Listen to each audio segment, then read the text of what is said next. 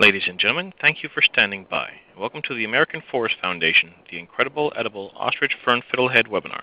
During the presentation, all participants will be in a listen-only mode. If you would like to ask a question during the presentation, please use the chat feature located in the lower left corner of your screen. If you need to reach an operator at any time, please press star zero.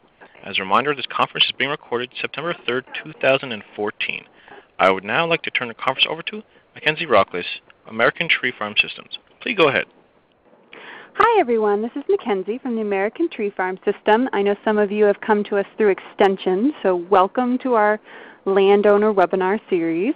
This fall we're doing a big series in cooperation with the National Institute for Food and Agriculture um, the National Agroforestry Center and the USDA Forest Service, as well as the Extension's Forest Farming Community of Practice. So all these great people have come together to help me out and to find these wonderful speakers like David Fuller. Um, and he will be speaking to us about the incredible edible ostrich fern fiddlehead. And some of you that might have received an email from me know that I need this webinar as much as anyone else because I picked the wrong picture for my email. Um, it was just a pretty picture that I had taken and I thought, oh, this will be great, and then was immediately informed. So some of you know your fiddleheads because you told me that was not it. But hopefully by the end of this we'll all know which things we can eat and which we can't. Um, if you don't know anything about the American Tree Farm System, it's the largest and oldest sustainable woodland system in America. We work to give our tree farmers the tools they need to be effective stewards of America's natural, natural heritage, but really we're just supportive of sustainable forestry in general. So we welcome all to our educational series. Um, as he said, the chat is in the bottom left, and so I'll be responding to the chat there. David will respond to questions as he can, but probably mostly at the end. Um, and if you have any audio problems today, um, we can try to work that out for you. A lot of times it's just connection because this is coming over the Internet. So refreshing your browser might help. Um, and you, after this, you will receive the slides and um, a recording.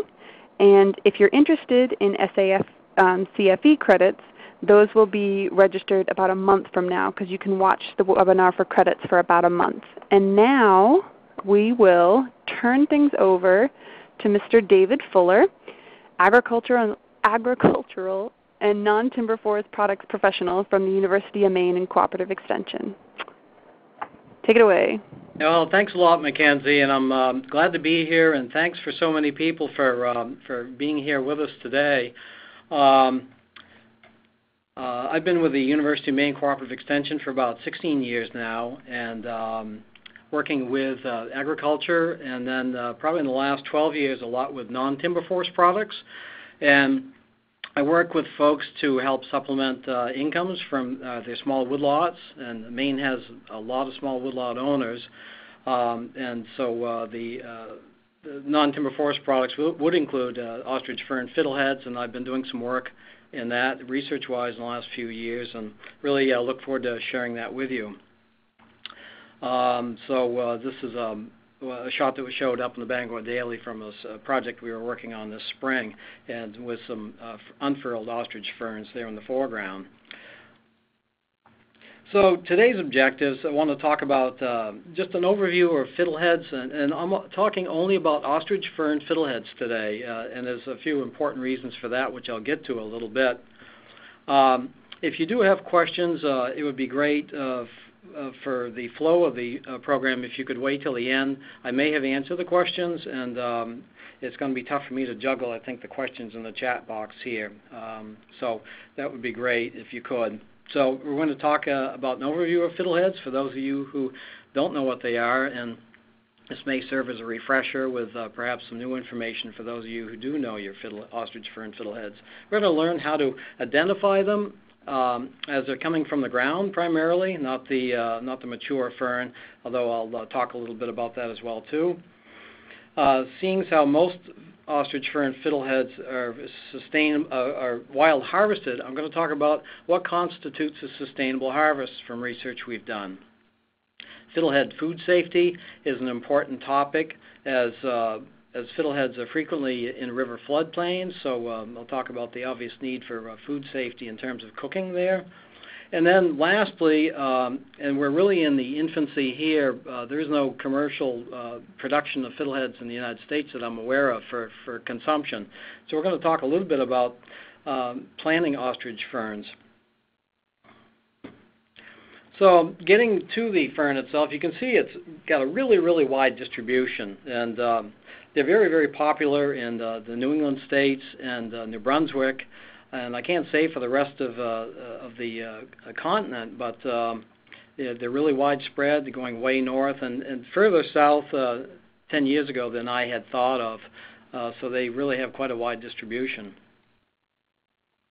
Uh, in terms of the biology, the Latin name for uh, ostrich fern is Matteuccia struthiopteris. struthiopteris rather. Uh, it was named for a, an Italian fellow, um, Carlo Matteucci, um, and Struthiopteris is referring to uh, appearing like an ostrich feather. So, um, and the Latin names are important because you can talk about this all around the world and you're all talking about the same fern. And that's important with fiddleheads because it frequently becomes confusing as to what is a fiddlehead. So, again, we're talking about ostrich fern fiddleheads here. Ostrich ferns are an herbaceous perennial, which means that they die back to the ground every year. Um, it's uh, perennial. It'll come up again the next year, and they live uh, quite a while. Uh, but unlike some ferns, which stay green all, all year round, uh, even beneath the snow, these do die back to the ground. They spread by rhizomes, which are an underground stem, and uh, occasionally by spores, but primarily by rhizomes. Uh, it's and it's an assertive fern uh, meaning that it pushes itself around once it gets in a in a spot and it's happy. It, it moves around quite a bit. I know people who have planted it in the home landscape, and it kind of moves into the lawn, but you can control it by harvesting it very heavily or, or mowing if it gets too too far out of control. Um, it's widely adapted from zones three to six, and uh, some say a little bit uh, more into seven. Um, and above all, it's a sustainable resource if it's harvested correctly, and I'll spend quite a bit of time on that topic. As a, um, as a springtime green, it's long sought after. It's uh, very, very popular um, uh, with uh, the Penobscots, uh, the four tribes in Maine, Penobscot, Passamaquoddy, Maliseet, and Mi'kmaq. Uh, very, very popular. It has been for thousands of years. Um, recently, Canadian uh, researchers have found it to be a source of omega-3 fatty acids, which is a real good health health thing. Uh, so also a source of fiber, vitamin C, vitamin A, and I have the sources at the uh, foot of the slide there uh, where that research came from.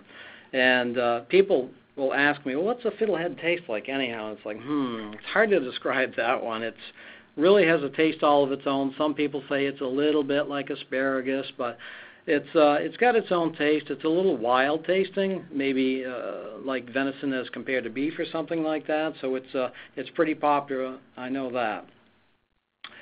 Um, in terms of uh, the culture in the Northeast, they're very very popular. This is a birch bark uh, basket uh, that was uh, made about uh, 1795. It's incised. This is a winter bark, and what they did was to scrape away the design and um, the outer bark.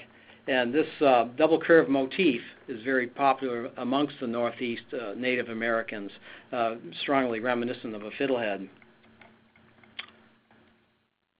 This is a um, interstate marker in New Brunswick where fiddleheads are, are, really, really strong, and so they have this fiddlehead trail up there, and so you see this on the on the markers. Um, in Farmington at the University of Maine at Farmington. This is a, uh, a hand railing end in the shape of a fiddlehead. So there, it's a very popular kind of thing, and it's it's in nature in terms of spirals here and there, and uh, and people really like the design uh, quite a bit. We've uh, we had our third uh, annual Fiddlehead Festival and Local Food Day at uh, Farmington. So it's uh, showing what a part of culture it is. We had a really, really good turnout. It was a fun day. We had a lot of music and whatnot. And there's a um, there's a website there on that slide uh, that you can go in and, and check on um, check on what uh, what was going on that day. We have a bunch of classes. I uh, teach a couple of classes about fiddlehead um, identification. We actually go out into the field, and uh, so that's very helpful for folks. And I hope by the end of this uh, slideshow here that you'll be able to identify uh, ostrich fern fiddleheads with no problem. A sign of spring in Maine. Yes, indeed. The fiddlehead uh, uh, vendors show up in all sorts of fashions. A lot of them are self-serving uh, stands, so you just um, take your quarter fiddleheads and put your money in the box. Uh, and these pop up like lemonade stands all over the state. Um, starts uh, early in May uh, down in the southern part of the state, and then the fiddleheads are still being picked in the northern part of Maine because we're we uh, extend quite a bit north to south uh, at the end, um, well, up till the middle of June. And this is, uh, a sign from another uh, roadside stand. So you can see the prices. Um, this is the, probably the lowest price I've seen lately, and this is this is a price from probably 20 years ago.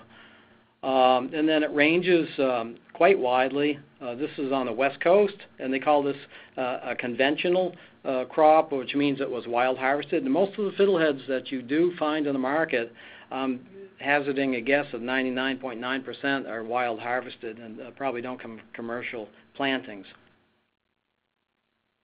They're very good in uh, pickled as fiddleheads, and we do have a recipe in one of our publications that I'll uh, be making reference to uh, upcoming. Uh, the uh, fiddlehead raviolis were being served at the Fiddlehead Festival this year, and they were an excellent, excellent thing. I froze froze them up and had them a little bit later in the season when the pole beans and the cucumbers were coming in. So that's it was a nice dish. But I think most most folks in Maine, anyhow, uh, that I know, just they just boil or steam them uh, with a little salt, pepper, maybe a little bit of vinegar and uh, some butter, and uh, and they and they're pretty good. So going through the uh, life stages of the fiddlehead, uh, these are some that are newly emerging in the spring. You can see the crown, and I'll use the pointer here. This is the whole crown here, and then the fiddleheads are emerging just in the center here. We have the uh, last year's fiddlehead fern uh, stems are still here, which helps to identify them because they have this deep U-shaped groove here. And then um, later on, this is about the time at which to pick. Um, you can actually harvest the fiddleheads with the stem, and you just snap them off with your fingers. Uh, we don't encourage folks to cut them with knives because you may uh, injure these uh, remaining fiddleheads. So this is about the time to harvest, and they're very good with the stems. You don't need to pick just the fiddlehead itself at the top. Um, so you, you can pick two or three inches of the stem.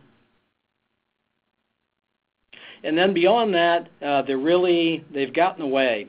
Um, this uh, the one here on the right you see is starting to come unfurled. This is not marketable anymore, and folks don't eat these at this stage.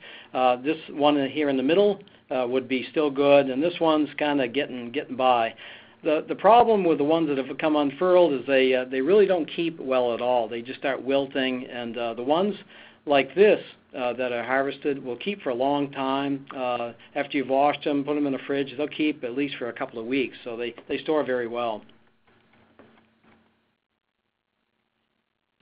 So this is a um, this is a crown of fiddleheads, and here we have um, some that are really starting to come unfurled, um, and then some that are still harvestable here at the base. And I'll talk about sustainable harvest. But you see these little brown uh, parchment-like wrappers on, and as the ferns elongate, that falls off. But this, when they're first coming up, is one way to identify the fiddlehead, ostrich fern fiddleheads. And then you've got here, the structure is called a, a fertile frond, and spores are, are born on this, and that's one way that ostrich ferns can multiply, uh, but it's not the predominant way. And these will stay up for a year or more after they've come up. And not all plants will have these, uh, so it's not always a reliable uh, uh means of identification. This is a close-up of the fertile frond, and so the, uh, the spores are, are born uh, in here by the gazillions. They're very, very plentiful. And then in the wintertime, uh, it's actually a way of finding fiddlehead grounds. If you want to go out on uh, snowshoes and go wandering around on the snow, you'll see these fertile fronds is still sticking up, and they kind of look like an ostrich uh, ostrich feather a little bit as well too. and again, they'll stay up for a long time. Uh, but if you're into uh, other uses of non-timber forest products, these uh, look very nice in floral arrangements, um, particularly in the fall because they're brown, maybe for Thanksgiving arrangements or things like that. But I do know people who actually spray paint them too, um, and so they can use them at, at different times. Um, so in Maine, it's just an estimate, but we figure we harvest about 100,000 pounds of fiddleheads a year. In neighboring New Brunswick, uh, really, which is very much the same forest type as Maine, uh, if you cross the border, it looks just like Maine, not, not really any difference. They harvest at least four times that amount every year, and they have a, a large processor um, just outside of uh, New Brunswick. Um, so uh, it's, it's a big, big business in New Brunswick. So a little bit more about the plant. Uh, this is showing some of the anatomy of the plant. Here you've got a, young fern plant with really young ones here, which probably are uh, the result of an underground rhizome coming out here. But this really illustrates well how vigorous they can be in terms of spreading. And so what will happen here is this tip will pop up above ground, and then you'll have a new fern plant, which in, oh, probably a couple of three years is going to look like this fern here a close-up of the base of a fern plant showing the rhizomes. And so we've got one here, uh, maybe another one down below here, a third, and yet a fourth starting up here. So this is a young fern plant, uh, very happy, very, uh, very aggressive in terms of, uh, of uh, getting itself established and, and, making more fern plants. And so this is a um, this is a single fern that's connected by rhizomes. Um, the way this plant started was from the mother fern here, and you can see it's got this great big crown, and as the ferns age, they actually push themselves up above ground. So this uh, may this crown may be sticking six inches above the soil, and it is um, as time goes by, it makes itself very predisposed towards uh, cold winters where we have no snow cover. A fern like this might survive, but a fern like this sticking above ground may not survive.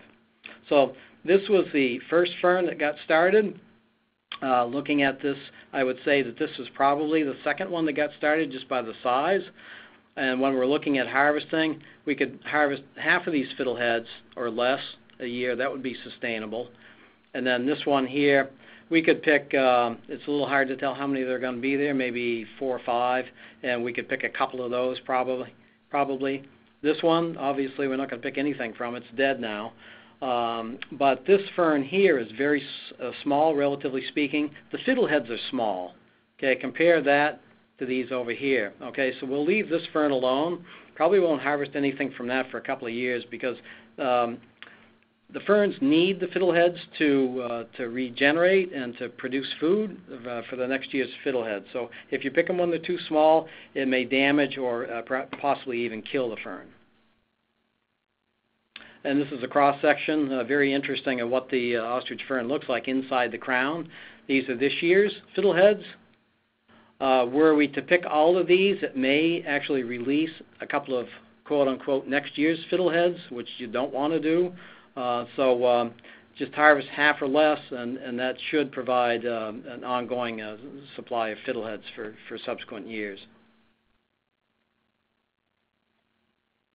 Uh, and this is a mature fiddlehead fern. Um, you see it tapers uh, both at the top and at the bottom, and its widest most part is, is up near the top here. Uh, it's just a single um, single uh, uh, stem when it comes out of the soil. It doesn't branch. It just um, it's a uh, it's a fairly simple looking, quite elegant in the landscape, and it's very popular as a landscape plant. And I wonder how many people don't know that you can actually eat the, the fiddleheads from that. Um, ostrich fern fiddleheads are subject to uh, frost damage. Uh, when it gets down maybe 28 degrees or something like that, you can see this one is, is entirely dead. The one here, you can see the frost damage where it's kind of turned brown a little bit. But later emerging fiddleheads are fine. So they were spared from that because they were down deep down in the crown. So they um, you can have some problems sometimes with uh, with frost. And the, so the later some of these uh, some of the fiddleheads actually come up quite a bit later, and those are, that's advantageous for their survival. Okay, so when we're talking about fiddleheads, there are other ferns that have fiddleheads. Uh, I think Mackenzie made reference to one that she had a picture of. So there, any number of ferns do have fiddleheads, but uh, I want to emphasize that we want to eat the ostrich fern fiddlehead uh, because that's the one that we know the most about. Um, there's another one called the bracken fern. We do know that's a bad one, so uh, that's a good one to avoid. So other ferns have fiddleheads that come up in the spring, uh, but uh, the bracken fern, for example, is, is carcinogenic under lab conditions. Um, and uh, so what does a bracken fern look like? So you can see uh, from the other fiddlehead pictures that we've had, this one looks remarkably different. And that's easy in terms of making identification. First of all, it's kind of fuzzy. It's gray almost in color. And it has what looks like curled up bird bird claws or something here. That's because when this fern emerges, it doesn't have a single um, a single branch, but it has uh, typically three, two or three branches. Um, and so, and this is a reference for that um, for the uh, research which showed that uh, the bracken fern was carcinogenic to rats, uh, and it also showed that ostrich fern fiddleheads were not car- uh, were not carcinogenic or toxic. So. Okay, a close-up side by side. Um, gray, fuzzy, looks like bird feet here. Dark green, smooth, no fuzz. Um, you have this brown parchment-like covering, and then this uh, deep U groove here. So it's a very, very distinguishable. And there's no other fern that looks quite like the ostrich fern fiddlehead too. So you don't really need to know all the other ferns. You just need to know the characteristics of the ostrich fern, and then it's um, it just makes it a lot easier. And then once you know where a patch is in your landscape or with permission to harvest from someone else, uh, the patch is there and kind of like a kind of like a trout uh, fishing hole. You would never tell anyone where your where your patch was, of course. So just a little um, uh, identification wrap up. Uh, so ostrich fern fiddleheads are green in color. They have a smooth stem. Uh, it's kind of almost shiny. It's not uh, furry or hairy. It has a deep U-shaped groove on the inside of the stem. Uh, it has a parchment-like uh, covering, uh, kind of papery covering when it first comes up, uh, and then as it elongates a little bit, it quickly falls off. And you do want to remove uh, that papery covering before you eat because it's it's uh, probably high in tannins or something. It's fairly bitter, and it'll turn the water uh, that you're boiling in uh, really really dark colored. You can either do it dry. Uh, some people uh, will just kind of rub it, uh, the fiddleheads be- between their hands, and you could um, actually do this in front of a fan, and it'll help to blow the parchment away. Other people will wash, but sometimes it'll take quite a few washings before you get all of that parchment um, uh, washed away. And then um, the last thing is, is that uh, sometimes uh, you'll have fertile fronds uh, that'll last for a year or more. Not all the plants will have those, but in a given stand of ferns, uh, you should be seeing some of those belonging to ostrich ferns. And then a pictorial um, wrap up on ID, the rich green color. I call it vibrant. Um, the uh, paper covering, smooth stem. You want to harvest it before it elongates and these leaves start developing. A deep U-shaped groove, and the uh, fertile frond also has a d- deep U-shaped groove on the inside of the stem too. So when are they ready to harvest? Um, that's always a, a, a topic of uh, discussion in, in my neck of the woods. People saying, "Well, the fiddlehead's ready." I don't know. I haven't gone out to check them. So I started doing a phenological study uh, using blooming uh, plant indicators, so when they might be ready. And this is just a generalization. Uh, because uh, most of these plants have uh, new improved varieties that bloom over a wider period of time. But we're looking at forsythias, um, as a rough indicator. Daffodils, daffodils will bloom for a long time. So once they start blooming, it might be time to go out and check your your um, your patch. Black cherry, serviceberry, Amelanchier, um, and then some wildflowers. And uh, depending on where you are, and this I, I have to emphasize is from a Maine perspective. Uh, that's where most of my experience is. So, uh, but you may have some of these wildflowers too, because their distribution is quite widespread and some of those wildflowers, um, trout lily is one. Uh, when that's blooming, it's pretty much fiddlehead time.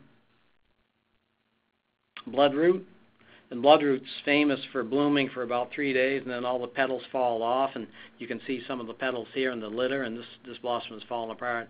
Uh, a real spring ephemeral in terms of its blossom. It doesn't last very long. Another one is uh, red trillium, and locally we call this stinking Benjamin because its blossom has a fetid smell which attracts the pollinators. Uh, it's also called wake robin. It's a, that's an old old name for it. So those are some of the wildflowers that would indicate the fiddleheads might be ready. So now we've looked, taken a look at what fiddleheads look like and whatnot. The, the all essential question is, how do we harvest them sustainably, and what does that look like?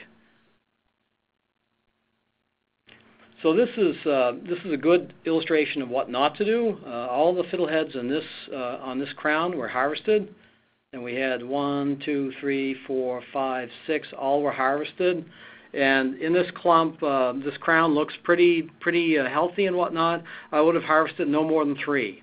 Um, and I'll uh, tie that in with the, the research um, uh, that I did here in a little bit. But uh, the idea is that you need to leave some behind, otherwise there's going to be nothing there to produce food for that crown, and the crown will get smaller over time. And if you harvest it every year, um, it may it may wind up killing it. And this is more of what I see in Maine now. It's um, I know uh, folks uh, anecdotally uh, have fiddlehead patches out in back of the house, and uh, commercial folks will come in and harvest them so that landowners uh, are not able to harvest their fiddleheads from their own land. So that's starting to really rankle people, rightfully so. So, um, and most of the land in Maine is privately owned. It's not uh, owned by the state or um, or uh, the federal system. It's uh, almost entirely uh, privately owned, and we take pride in in being sharing with our neighbors and whatnot. But that's obviously uh, can be can be overdone.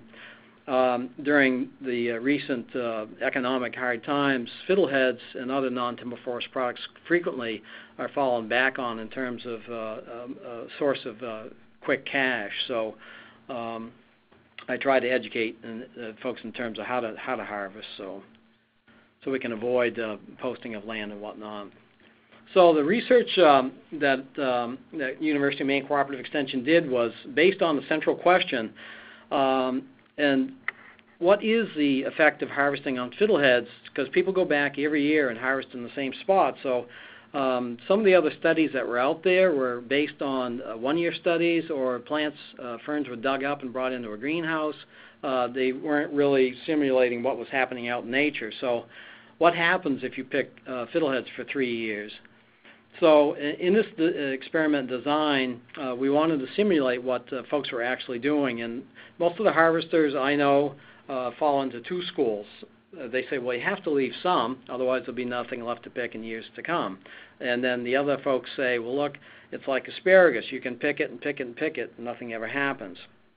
And I want to emphasize that ostrich ferns are absolutely not like asparagus uh, that you can pick for about six weeks once the uh, patch is well established. Not, not, not at all the same kind of plant. So and then the challenge for this experiment was to conduct it where it wouldn't be disturbed. Uh, knowing in Maine, if there's a patch of fiddleheads, it's it's kind of there for the taking if you have permission, or or sometimes not. Um, I had to find it in a secluded place and get the landowner permission, and then uh, have uh, have them not harvest the fiddleheads uh, himself, which was quite a sacrifice. But he had other patches of fiddleheads to harvest. So the uh, experiment design was um, harvest no more than one uh, one half from one plant. Um, and I'm I'm sorry, I've got to go back to the slide uh, slide previous. So what I found was that um, I had three three uh, sets of plants. One was the control where I didn't harvest any at all, and then uh, the uh, second set of plants I harvested half the fiddleheads that came up, uh, at one time with no subsequent harvest uh, because late fiddleheads will sometimes break. And then the third plot where uh, fiddleheads were harvested all of uh, harvested all of them. And um, as a result of that um, work, I found that the fiddleheads that were harvested entirely for three consecutive years, uh, about three quarters of them uh, did die. Um, so it's their um, they started going downhill after the second picking, and by The third picking, about three quarters of them are dead. So it, uh, they really go downhill very fast. And above all, don't pick any more that may come up later in the year. Okay, uh, you should harvest just one time. And if you see that someone else has been picking ahead of you, you should not uh, pick after them. Don't assume that well I can pick a couple more. Uh, it's it's probably not okay. Avoid picking from small plants. These are plants that uh, remember our rhizome picture. Okay, so these are young plants, so they're just trying to get established. Uh, they could be very old plants as well too. Um, and the small plants just don't have much vigor, so they don't they don't hold up to picking very well at all. So avoid picking those.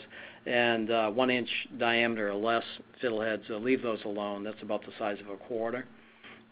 Don't harvest from plants with only two or three fiddleheads. Um, those are those are probably the, young ones. They should have four or more before you really start picking them. And the bigger plants, the better. The bigger the fiddlehead, the more vigorous that fern is, and the more able it is to withstand harvest. And again, don't uh, don't uh, use a knife because you may damage the rest of the crown. Just um, snap it off uh, with your fingers. So if wild harvesting, first of all is to get landowner permission, and I can't emphasize that enough. Um, in Maine, uh, you can go to the local town office, um, identify clearly where the property is on a on a local map or gazetteer or something like that, and they can give you the landowner's um, uh, name at least, and then it's up to you to uh, figure out how to get a hold of them, uh, especially if they're absentee, uh, which is uh, quite often the case in Maine and rural areas. So make sure that you have permission. Properly identify the fiddlehead. make sure it's an ostrich fern fiddlehead, and above all, don't overharvest. Um, I made reference to this uh, earlier on. When we're picking fiddleheads, um, we have to be aware of food safety. Uh, and that goes uh, two ways in terms of when you're picking. Uh, just use common sense, use a clean container, not an old used um, sheetrock mud bucket or something like that. Uh, washed hands. Clean the fiddleheads in potable water back home. Do, do not wash them off in the stream. Uh, and that's just common sense as well too. There's, no stream that's safe to drink from. Um, and then uh, wash and keep refrigerated um, as soon as you get home. Uh, they don't benefit from sitting in the car while you go out to lunch with the windows up. And those spring days, it can get pretty hot inside the car. And then um, really uh, make sure that you cook them properly. And I'll get more onto uh, what constitutes uh, safe cooking. And some of the reasons that we're concerned with um, with food safety. Um, earlier on, you saw the sign. Um, notice no commercial fiddlehead harvesting. Well, this is what it looked like this spring. And uh, we had quite a flood where the water came up about four feet. And this is what it looked like. Uh, these are the fiddlehead crowns. These are some uh, good examples of older plants, and they're uh, kind of rising up into a hummock. But these were actually underwater by several feet, and then the water receded and left this sheet of ice here. It was it was kind of attractive in a in a certain kind of way, but and then when the fiddleheads come up, they have been submerged by water, which has come down from the river or stream. In this case, it was a sandy river. And you can see the sediment that's deposited on this uh, on this weedy uh, leaf here, and so you don't really see it on the fiddleheads, but yet they've been they've been uh, washed over uh, by by river water. So uh, forgive the uh, text dense slide here, but this is from our fact sheet, Facts on Fiddleheads, and I have um, a resource slide later on which makes reference to that. But uh, suffice it to say, I'll just narrate here a little bit from the slide that uh, there have been uh, outbreaks of food-borne uh, uh, related illness relating to uh, fiddleheads. Um, they are citing 1994 here, but both in Canada and the United States, the Center for Disease Control keeps track of that, and there have been uh, more outbreaks other than just 1994, suffice it to say. And so the uh, symptoms are fairly classic uh, food poison, food poisoning related symptoms. Pretty, uh, pretty upset stomach. Um, so we want to avoid that uh, at all at all costs. Um, so in cooking fiddleheads, we recommend uh, our food science people only recommend two different ways: um, boiling And so to boil fiddleheads, uh, to uh, immerse them after you've uh, cleaned all the parchment paper off them, all the brown little wrappers. Um, so you get the water boiling and uh, dump in your fiddleheads, bring it back to a boil, then start your timer. Okay, and then for steaming, it's a little less, uh, a little less time-wise, uh, and the parameters are for 10 to 12 minutes uh, steaming. If you want to use fiddleheads in a stir fry or something like that, do not try to cook them uh, from scratch uh, like you would a oh a bok choy or something like that. They shouldn't be crisp. Uh, they shouldn't be crisp tender. Um, any of those other adjectives. They need to be well done. They're going to be tender. Uh, uh, some people say, well, they're, they're kind of mushy, but um, uh, they, the flavor really holds up. Uh, the texture may not be uh, quite what you imagine from a from a fresh veggie, but uh, so uh, make sure that you do cook them properly, and then you can just toss them in your stir fry at the last minute there, just to like turn them a couple of times uh, without beating them up too badly, and that works out pretty well. So the question is, is do we harvest wild or do we plant? Um, so some of the questions around that, well, in Maine there are no commercial plantings that I'm aware of uh, for uh, for eating. Um, there are some home garden plantings that I know, and we'll have some slides of those coming up. Um, in New Brunswick, um, Brian Dykman, amongst others, did a number of experiments uh, and work uh, on fiddleheads in New Brunswick back in the 80s. Um, and I, I remember one of the papers saying that they predicted widespread plantings uh, within 10 years, but um, that doesn't seem to be the case when I uh, when I talked with uh, folks up in New Brunswick, they said, no, it's not really the case. There's only maybe some quarter acre patches, which will produce a whole lot of fiddleheads, by the way. Um, and one of the reasons seems to be that the native populations are holding up of ostrich ferns. Uh, so it does cost quite a bit to um, to get a planting going, and the payback's quite slow. You may not be able to harvest for like five years or something like that. So it's not really taken off yet. Uh, I suspect that it may pick up speed as time goes by, as local food uh, it gets to be more and more important, and people discover the taste of fiddleheads and the health benefits because they are they are pretty good for you. Um, so, but when we're looking at wild harvesting, we have the question of accessibility of the ferns, and that's uh, landowner permission um, and not too remote because some of our rivers are, are extremely remote and you just can't get in and get out uh, easily. You may have to canoe upriver for miles to get to where you're going, and then you've got to easily get them out to market. So it, it could be hours away. So that's that presents a challenge and uh, is one maybe one reason to plant. Uh, and then the timing. Uh, fiddleheads can grow several inches in a day, so you need to kind of be on top of them in terms of when they're coming up. They don't all come up at once, thankfully, so you can still uh, harvest, but uh, boy, they really grow fast, and sometimes they'll get away from you. Um, wild harvesting, you know, it's we can continue doing it if people don't harvest too much, but uh, uh, that's that's one of the concerns uh, we have. And and you know, can the supply uh, keep up with the demand? Uh, it's being promoted fairly heavily uh, by one company in um, up in I think it's Quebec, um, and so uh, they where they instant quick freeze fiddleheads. Uh, so that may uh, increase the demand for fiddleheads. So the current scene in Maine is, uh, you know, we've got a long, long tradition of wild harvesting. Uh, everyone talks about catching that first trout and getting their first mess of fiddleheads to eat. So it's um, it's been going on for a long time. Um, increased interest in in the in the local and the wild foods, the wild foods especially too. Um, and we've had recently a couple of bills that have come before the legislature. The first one was regarding um, requiring uh, a law requiring that you have to have written permission to harvest uh, fiddleheads or uh, mushrooms. But then that was uh, then changed to a second bill to include all natural resources from private lands. And neither of those bills went through, although I suspect that um, it's going to come back in a in another um, in another form. So change is kind of coming that way, um, and maybe it's uh, maybe it's time to start planting. Um, so with your own patch, um, if you have the right uh, conditions, and I'll talk some more about that. The plant sources, um, there's two basic sources. You can uh, harvest with permission uh, from the wild, or maybe you have some fiddleheads on your property and you could put them in new places, perhaps where they'll grow a little bit better. Um, and nursery sources are, a second uh, second option.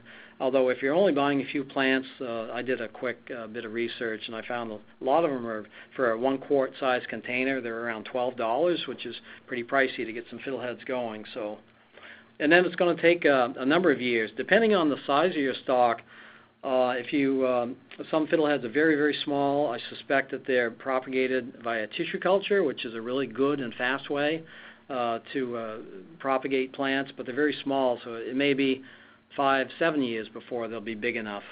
Um, and like comparing to asparagus, if you have bigger stock of um, ostrich ferns, it may only take maybe three years, like asparagus, before they're ready to harvest.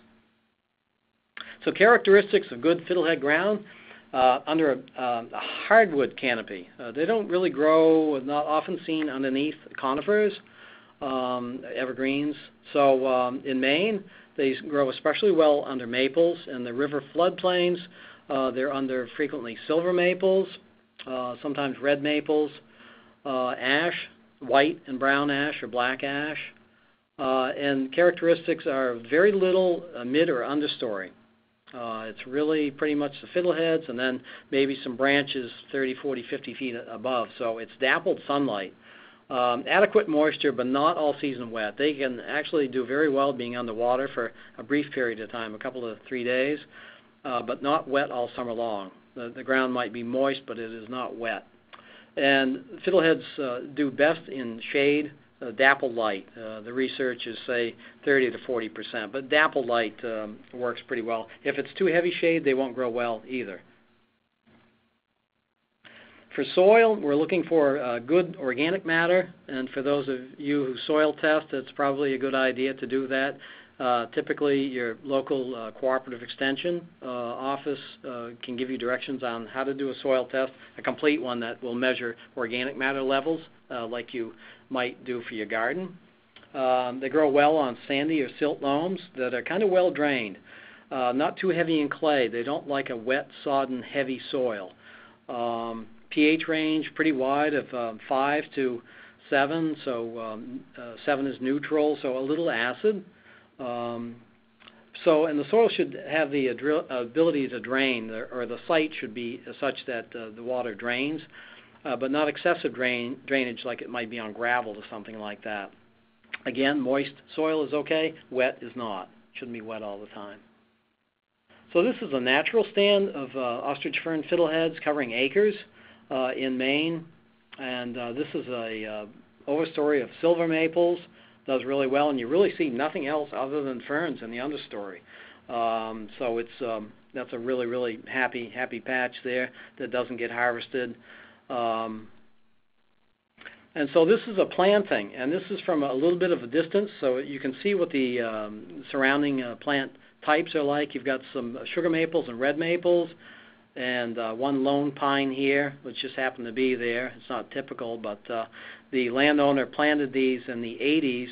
Uh, he planted about uh, 15 plants, as I recall, and um, and uh, currently there's probably numbers oh about six 600 uh, crowns in there now.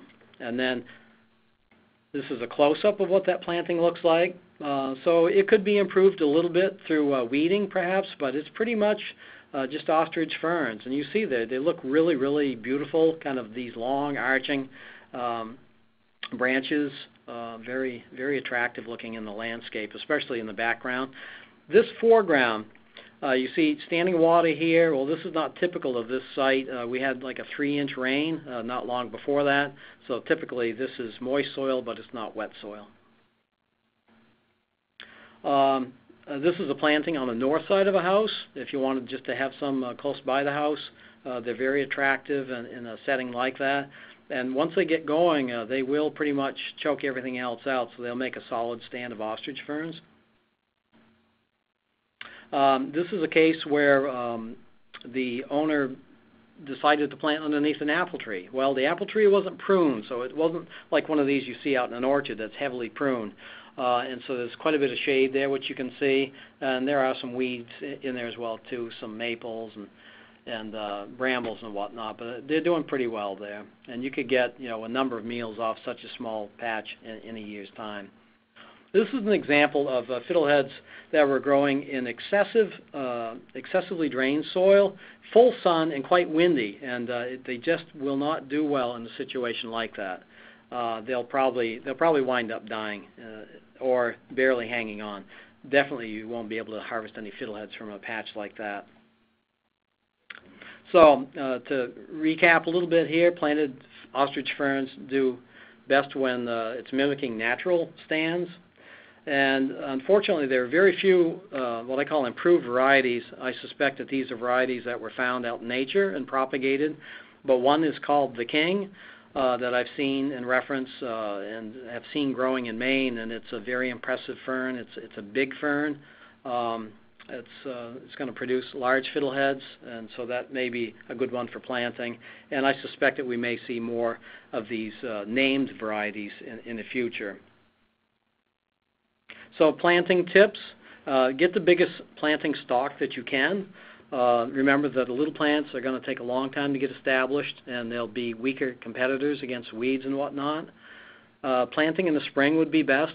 Give the ch- plant a chance to get established, uh, especially when it's cool. Um, and if you can get dormant stalk, uh, so much the better with no ferns up whatsoever they're able to withstand that uh, shock of uh, transplanting if you're digging them up with permission. Um, choose the correct site of soil, otherwise the planting really won't uh, won't uh, be doing all that well.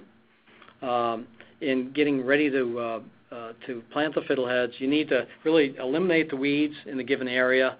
Um, uh, the soil should be dug up, loosened up a little bit, and uh, when you're bearing uh, the plant, to put it into the ground so that the top of the crown is covered uh, by just a little bit, maybe an inch or two of soil, and that will encourage some more uh, rooting and uh, perhaps uh, some more uh, rhizome growth.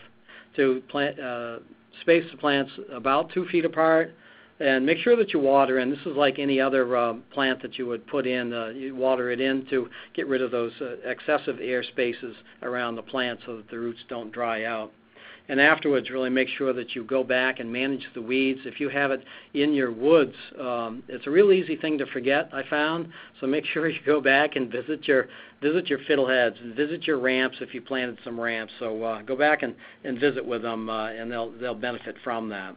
And maybe if you have uh, uh, understory plants, um, you know saplings and things, maybe eliminate those so that you just have a, higher overstory uh, up above.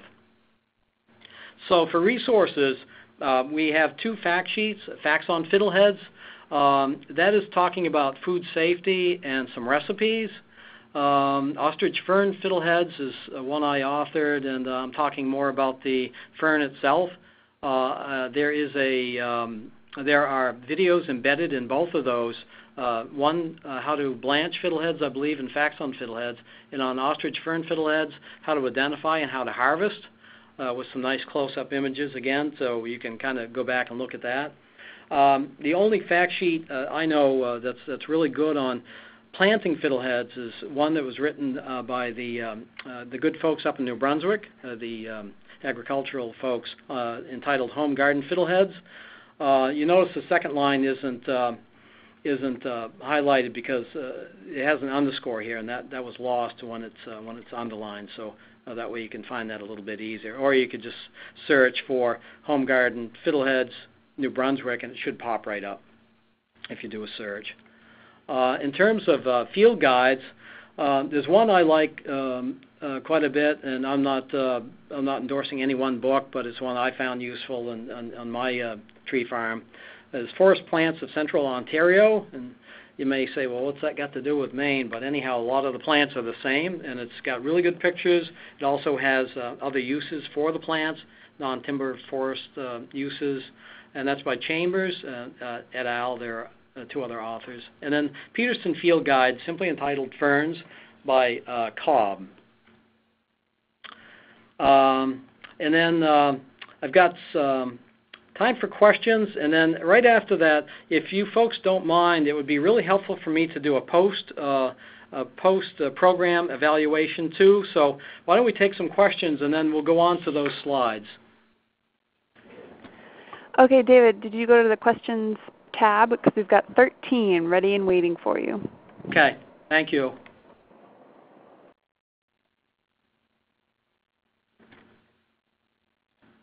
Okay, so the first question, um, I reckon you'll address growing parameters, but I have a 65-acre woodland farm in southeast Ohio and a source of starts from northern Ohio and a connection with local restaurants. Looking forward to learning about growing sites, etc.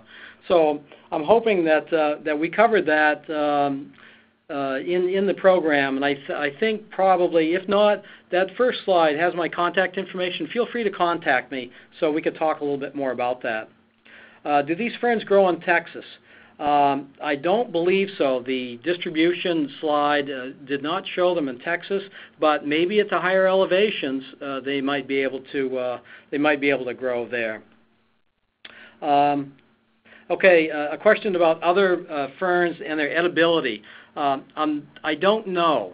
Um, our food safety people are saying let's stick with ostrich fern fiddleheads.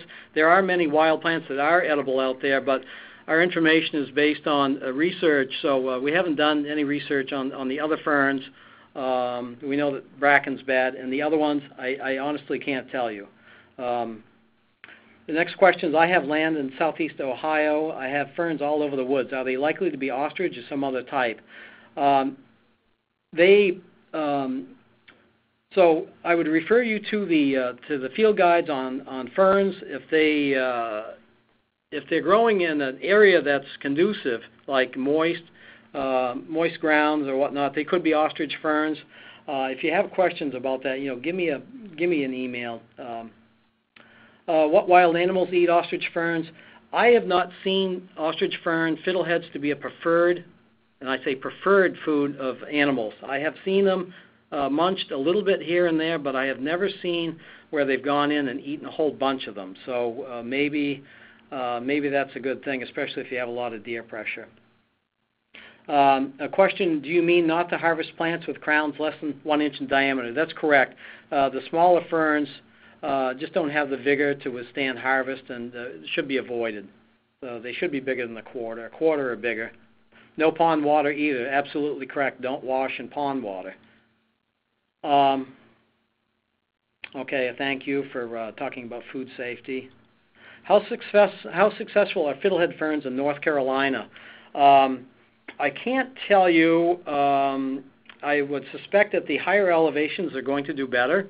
Um, the zones are three to six, and I think in North Carolina, boy, you're really getting out of that zone area. But in the northern areas, I know, for example, red spruce grows down there, and red spruces would be out of its uh, air, uh, out of its comfort zone in North Carolina. But at the higher elevations, perhaps it could. Um, um, do bracken ferns and ostrich ferns grow in the same environment? Thankfully, not really. Uh, bracken ferns like really excessively well-drained soil. They grow by roadsides where it's really, really dry. Um, so you don't typically see them growing side by side, which is really, really great. Um, another question, is it possible to plant them where other wild ferns are growing and doing very well, or will there be competition issues? Uh, there will be competition issues. Um, so you would want to get some control over the over the other ferns uh, first before you introduce the the ostrich ferns. But once their uh, ostrich ferns are going, they're going to handle themselves pretty well. Can you freeze fiddleheads? Absolutely. In our uh, fact sheet, uh, facts on fiddleheads, um, I think it's Kathy Savoie is showing uh, how to do that, and um, yeah, they freeze quite well. Have you heard of anyone, uh, again, uh, Christmas uh, fern fiddleheads, another one, and people do eat actually bracken ferns in, in other cultures, in Korea and Japan, we do not recommend eating them. In Brazil, we don't recommend it. Uh, so, and I can't tell you about Christmas ferns. Um, commercial um, commercial selling of fiddleheads in Maine, we have uh, one producer who uh, goes through about 40,000 pounds a year. Um, has a packing line, uh, washes them, and then ships them, uh, air ships them. Um, they probably go all across the United States. I suspect uh, other countries would be a, a large market, but I think there's plenty of market domestically. Um, so I would uh, entertain uh, a conversation with your potential buyer and just say, you know, this is what I have, and uh, just like you're marketing anything else, and see if they're interested in buying them. Um, deer, a question about deer again. Deer don't seem to be too big a problem. Uh, they don't really have too many pests. Um, one of the biggest problems is uh, that cold temperature. Remember the frost damage? Um, they do have a disease called Phoma. It doesn't seem to be really widespread. Out of the probably hundreds of acres of fiddleheads I've seen, I've not seen too much problem from anything, which is really great. Can you transplant the old crowns? You can transplant crowns as long as they have some degree of vigor, but when they have this big hummock sticking up above the ground, um, and it doesn't, um, you know, you can kind of keep an eye on that fern. If it only has like two or three fiddlehead uh, fiddleheads coming up with the ferns uh, later on, that's not a good candidate. It probably probably should have maybe six or more fiddleheads um, and or, or ferns to uh, to constitute uh, good success for transplanting. Uh, don't know who else. Um, most of the ferns are not ostrich ferns, okay, and that's Ohio again. What kind of market do these have in Michigan? You know, my question to folks is like, do other people eat fiddleheads out there? Um, I know in um, in Minnesota they eat them a little bit, um, but they don't seem to have quite the cachet that they do have in Maine. Um, our supermarkets all will have fiddleheads. Corner stores all have fiddleheads. So I think it's a big part of our culture, and so it may have to be cultivated in other states. Um, do they grow in Texas again? I, I don't think they're going to grow unless it's uh, at a higher elevation. Uh, the zones, USDA grow uh, zones from 3 to 6, and Texas is largely is going to be outside of that, too warm in other words. Uh, do the ostrich ferns have any allelopathic effects on other woodland plants? Allelopathy is the ability to suppress the growth of other plants around, and I'm not aware that they do. Uh, that's a good area for study. And um, let's see, any other questions? Not that I've come in. Oh, um, can you tell us about your Fiddlehead Festival? Okay, so the Fiddlehead Festival uh, is the first Saturday. Um, excuse me, it's when is it? I'd have to go back to my slide here. I'm I'm I'm on pressure here. So it's um, let's forget about the date. You can refer to the slide for the date on that. Um, it's um, it's uh, held at the University of Maine at Farmington, and uh, uh, it features local food vendors, folks cooking fiddleheads. We have cooking demonstrations showing how to cook fiddleheads um, a lot of other classes about local foods, uh, bread making, and things like that. Local musicians. Uh, it's a day-long event. It goes from about 9 in the morning till 3 in the afternoon. Uh, held rain or shine on the UMF campus in Farmington, Maine, and it's it's been a it's been a great great success. A lot of work and a lot of fun.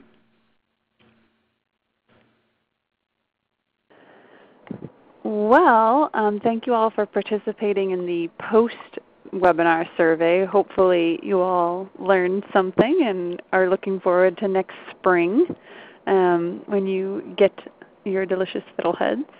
Um, I just wanted to point out that the next webinar in our series is going to be on ramp ramps, so another something you can eat. Actually, we're, we're big on eating because we've got ramps and then in the end of September we've got forest brews, which is mostly about making beer.